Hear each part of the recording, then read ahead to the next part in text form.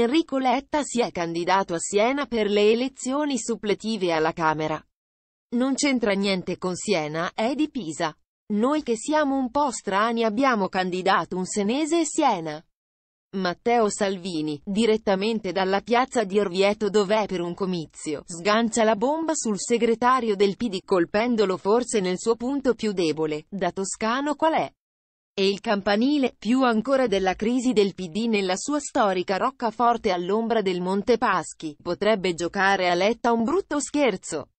Senza contare, poi, che a sinistra anche i renziani sono tentati di fargli lo sgambetto, per complicargli ulteriormente le cose in Parlamento anche, e soprattutto, in vista dell'elezione del Presidente della Repubblica inizio 2022. Letta, infatti, ha deciso di candidarsi anche perché è più facile controllare umori e tentazioni della propria truppa stando seduto a Montecitorio, anziché al Nazareno. Da Orvieto, Salvini ha affrontato poi anche il tema del coronavirus e dei vaccini, ribadendo la sua linea anti-talebana, ad oggi l'84% degli insegnanti ha già fatto la prima dose. Gli insegnanti hanno già scelto, perché parlare di obbligo, di licenziamento e di liste di proscrizione? Io sono per la libertà, stesso discorso per anziani e giovani. Ci sono 2 milioni e mezzo di persone over 60 non ancora vaccinate. Io sono contro gli obblighi e per la libertà. Queste persone vanno convinte e non obbligate.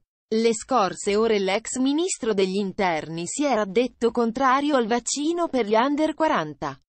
Giusto vaccinare i più anziani ma lasciamo stare i ragazzi. Sento parlare di obbligo vaccini per chi va a scuola a 12 anni. Lasciamo che i giovani tornino alla vita, con il sorriso e in sicurezza. Mentre Salvini era in piazza, Letta ha pensato bene di minare ulteriormente la strada del dialogo sul DDL Zan. Domani è una giornata importante, ognuno si assumerà le sue responsabilità.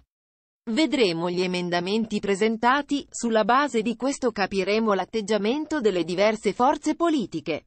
Sabato Salvini gli aveva chiesto di sentirsi prima di entrare in aula per evitare di arrivare allo scontro frontale.